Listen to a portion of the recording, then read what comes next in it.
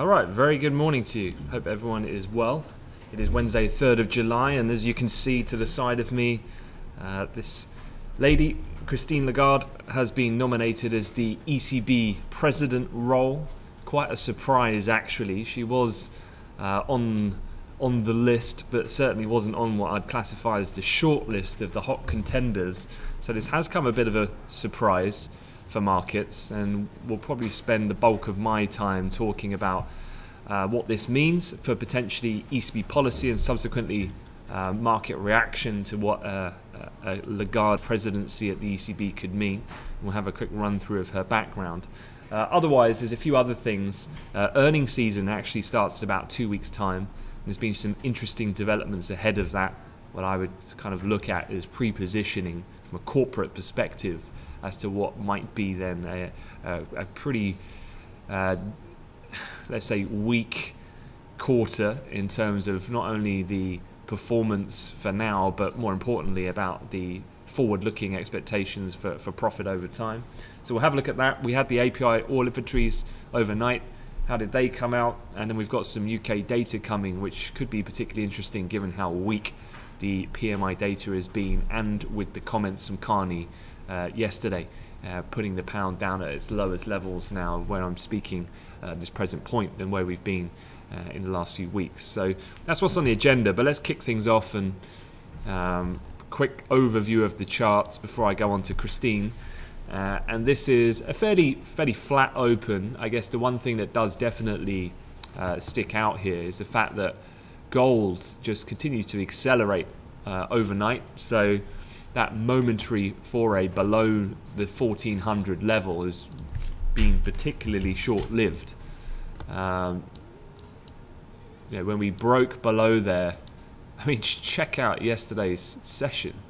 What a beast for gold. I mean, we were down in the futures space at least at uh, a low of 1386. Managed to hit a high of 1424. That's a that's a really strong move. Not often you see a, a one single candlestick print like that on a daily. Um, interestingly as well with that uh, T-notes back on the ascent as well.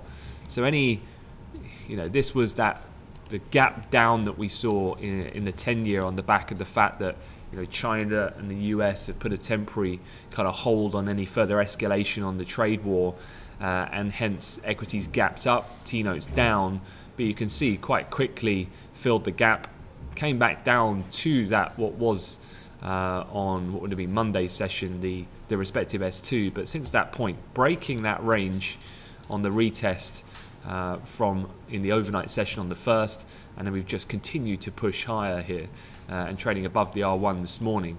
Uh, we'll have a look at the federal funds futures, so in the short end of the fixed income curve. And we were talking about first thing on Monday about how people were kind of pulling back on their uh, their bets on a 50 basis point rate cut. Well, that's changed again, uh, and we'll have a look shortly. But the odds have, have increased, so we've reversed any move to what we saw in the initial knee-jerk reaction to any positivity from the uh, the developments from the G20. Uh, otherwise, in the equity index futures, it's pretty pretty quiet. Uh, European futures off to a slight positive footing. US uh, pretty flat overall. Uh, WTI crude pretty sideways overnight, irrespective of the fact that we had, um, as we'll see in the APIs, another drawdown last night. I'd say yesterday um, continued to come off that kind of buy the rumour, sell the fact on the conclusion of the OPEC meetings, not really coming of any surprise, their decision to roll over the output cuts for another nine months. But let's have a quick chat about um, Christine Lagarde because I was talking to Sam this morning and just having a quick look at Twitter this morning, and she is getting a lot of stick online, which I feel is totally unwarranted. Because my view is, and I'll discuss why, I think she is an excellent choice to become ECB president, and I'll explain myself and why I think that. So, what I've done here is I've kind of constructed a little list of uh, pros and cons, and then importantly, what does it mean for markets? But starting off with the pros, um, I remember, so I started in financial markets as an analyst in, in 2006, and I remember uh, squawking about Lagarde a lot pretty early in my career because she spent what the best part of three years working as the French finance minister. I think it was from 2007 to about 2010. Um, so I know her from kind of back then, so very familiar with the the type of way that she uh, explains things, the type of terminology she likes using, her ability to communicate. Um, from that point, though, importantly, she went on to, to steer the ship at one of the largest uh, kind of economic organizations in the world, and that being the IMF, which she has been in control of and worked at from the last eight years. Uh, her previous background to these more, um, I guess, financial oriented roles were she's uh, used to work in the legal world. So she's a smart cookie to boot, as well as being quite experienced in managing an organization on a large scale. Um, so she is definitely not short of experience uh, in that regard. Uh, and as I said, one of the most important skills of which I think she's got in spades and is the most important for an ECB president is she is an incredibly skilled communicator. Um, I'd say she's articulate, she can um, perform under pressure. Being from a political sphere, obviously she's used to taking questions and being kind of people trying to kind of poke her for a reaction. So she's definitely well equipped in an area that I think usually most candidates for a senior central banking role are incredibly short of. You think of Jerome Powell, one of the biggest question marks is he's not short of experience. It's is he or does he have an ability to be able to stand up there in front of a microphone in one of the world's most important influential positions and not buckle?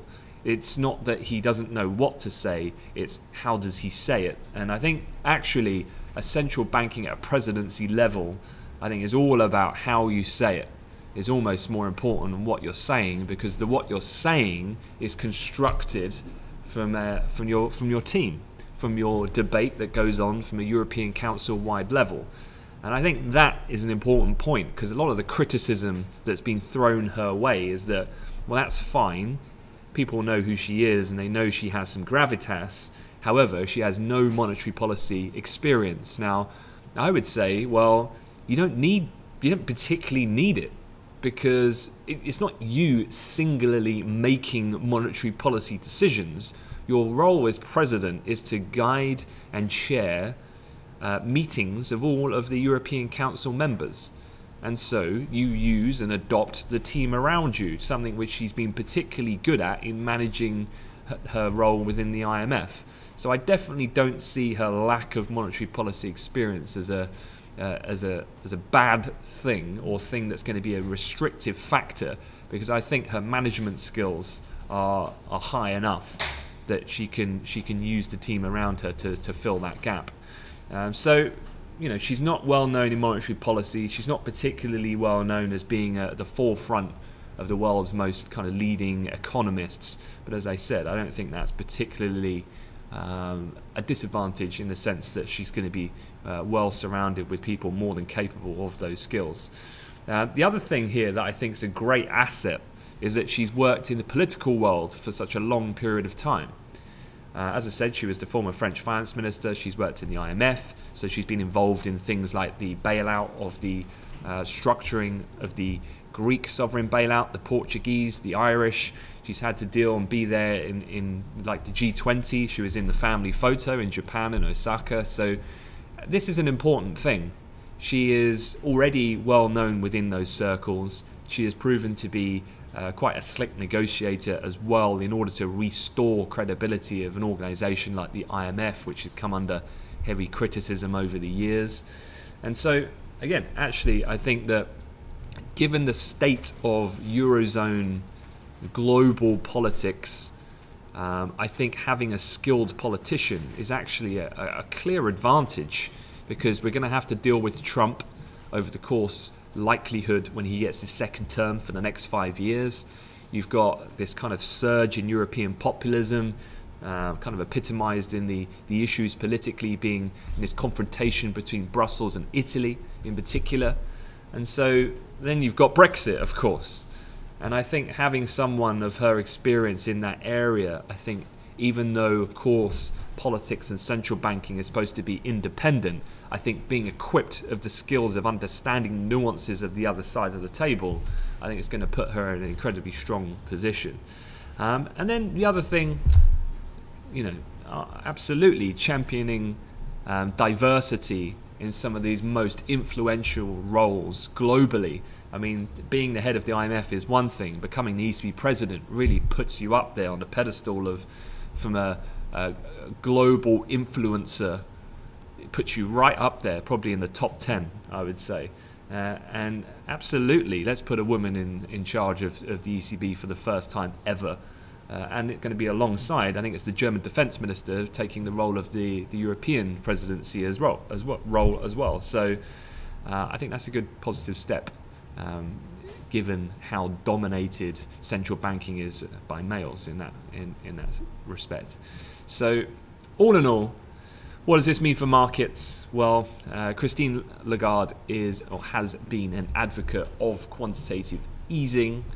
Um, I would say that I think two things that are important for me from a markets perspective. One is everyone in markets knows who she is, and I think she is very well respected within those circles in the powers that be from a from the clout in financial markets. So therefore, I would say one of the biggest uncertainties you, you always have when a new central bank head comes in is about how are they gonna how are they gonna be within that role and we've never really seen them too much. They've always been in the background, like a Jerome Powell or Janet Yellen. They've always been there, but never really on the front, uh, front kind of lead role. But she has been there, and I think markets will take comfort in the fact that there's some degree of continuity that it eliminates uncertainties because she is a known figure.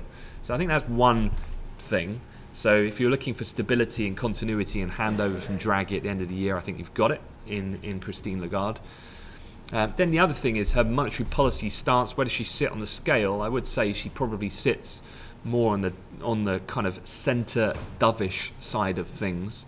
So remember the kind of situational juncture we face from a European's uh, policy perspective. Draghi is on the precipice of, of cutting rates again as far as markets are concerned, and potentially this idea of reopening the QE taps. I would say, if anything, uh, that should be a relatively smooth transition for someone like her to take over. And then another big positive, I think, is that rather than have a, a Villeroy or a Weidmann, a former European central banker from an ECB board member point of view take over the head is that maybe it's quite good to freshen things up. She'll come in, sit in these meetings that she's never sat in before, and be able to manage them in a way where she can hear all these arguments between the north and southern divide and uh, and see what the best course of action will be. But uh, I think she is perfectly equipped, both intellectually, both from a, a, management point of view of again filling the gap of her lack of any experience, if that were the case in monetary policy on an economic side of things, and then overall she is a, a supreme communicator, which I think is one of the greatest skills a central banker must have. So yeah, that's my thoughts on her. I'll move on, but hopefully that gives you a, a flavour of, uh, of, what to think. From a market's point of view, no massive knee jerk reaction on the back of this news, um, but I, think it's all but a foregone conclusion now that she will take that role. A few other things I wanted to, to cover, and I'm going to whip through these because I, I definitely want to keep this to under half an hour for me and Sam. Uh, but oil weighed down as global economic gloom rains on OPEC's parade. This is one of the headlines on Bloomberg, and an interesting graphic that they're running is this, which is a bar chart going back for the last, I guess, five years. And what it's encompassing is the price change on the day of a decision from an OPEC meeting. And so here you can see WTI crude, um, as in yesterday, had one of its worst reactions to an OPEC decision since going back to 2014. Um, does that make me feel bearish um, on oil? Well, yes and no.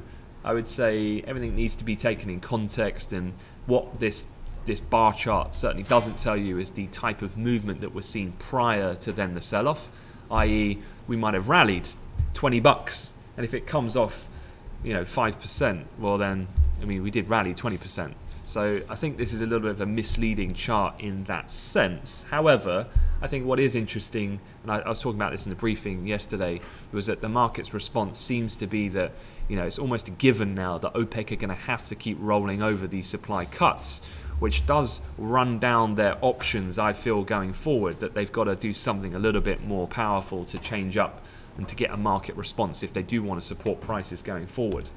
Um, one thing we had last night, we did have a crude drawdown in the APIs of, of 5 million.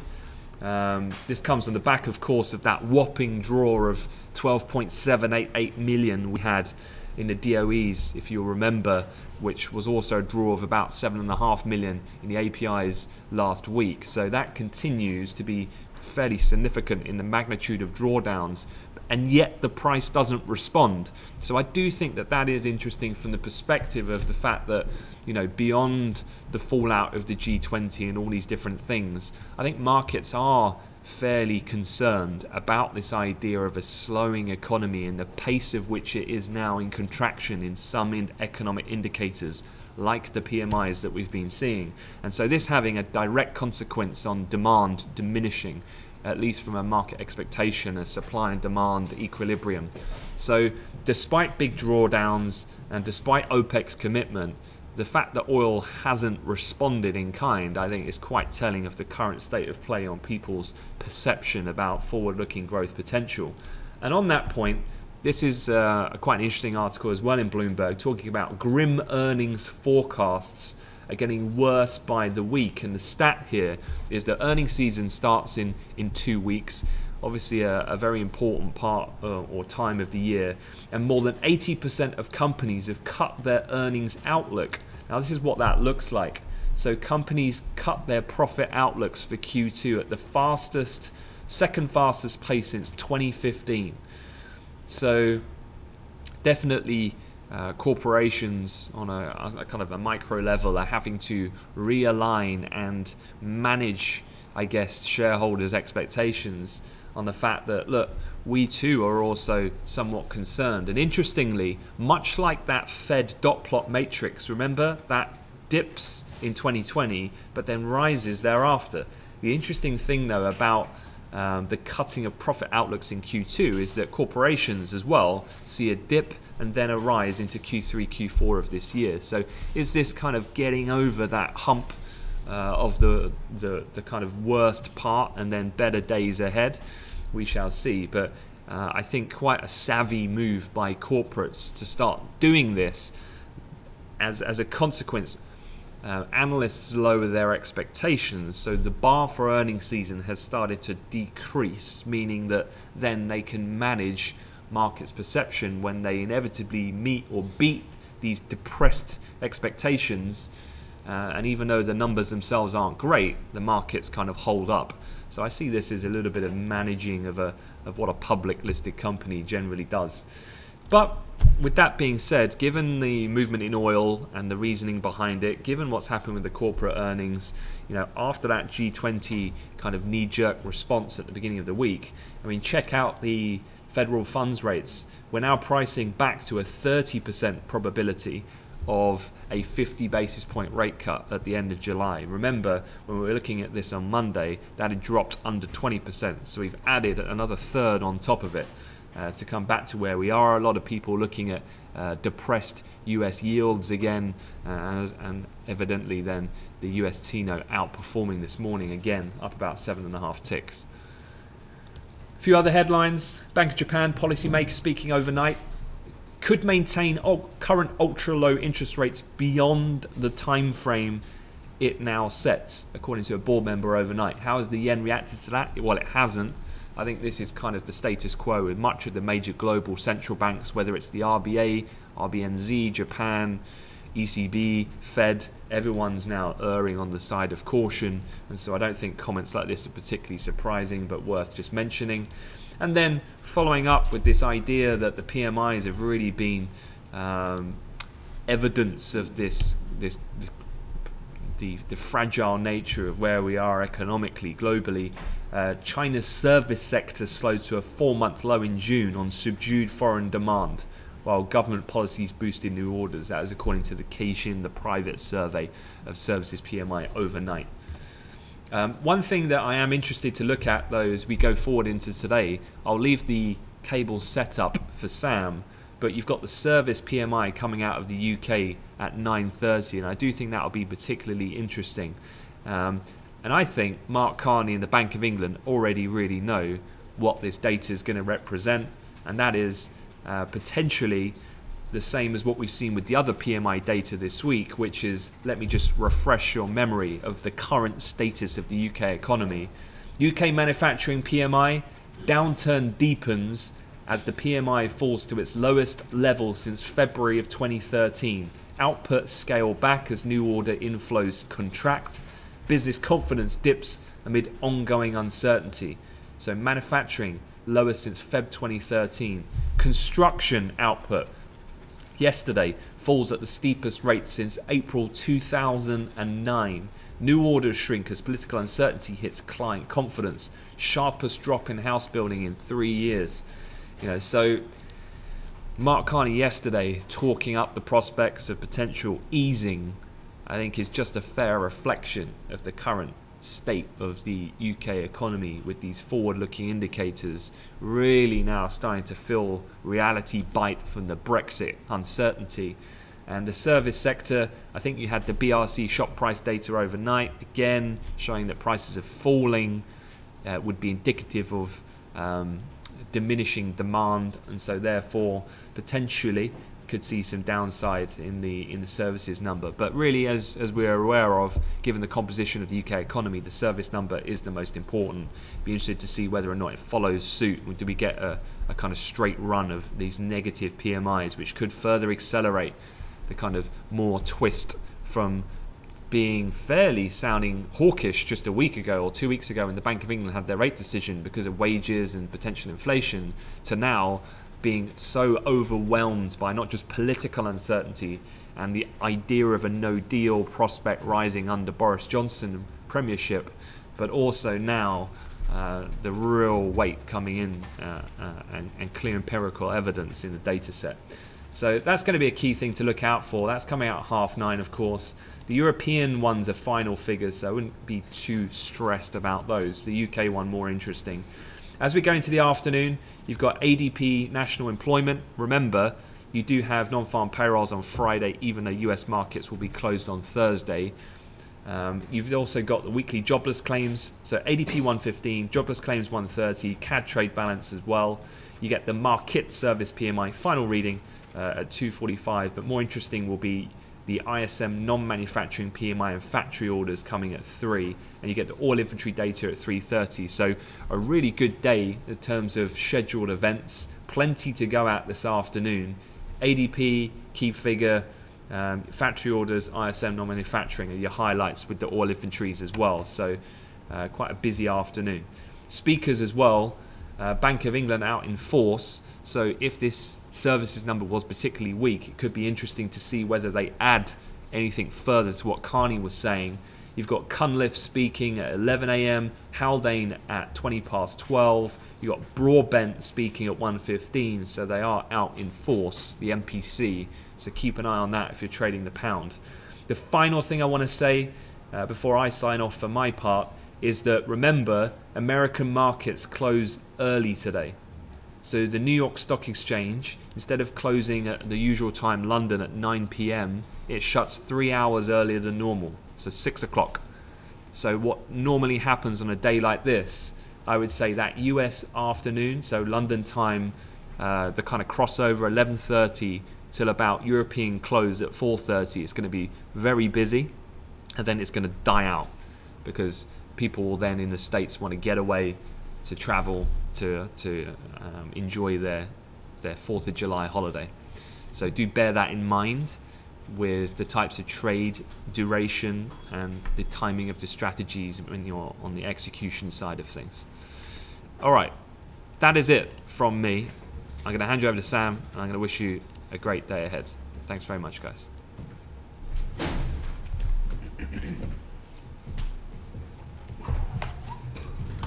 Hi guys, hope everyone uh, is doing well. Have a quick look over uh, the charts as uh, and how we're trading and, and, some of the, the opportunities uh, that may come to light. Just having a, a, quick look before we do so. The euro uh, just coming to its lower point, but the DAX pushing to uh, a new high here, new high for, for the day, and breaking above the the little range that we were in from this morning, yesterday evening, and the high from yesterday. Push uh, just pushing through quite aggressively. 30 minutes into into the open, so a decent uh, break higher there, and that most likely is going to have a, a drag-on effect on US equities, which had a good little finish to the day yesterday.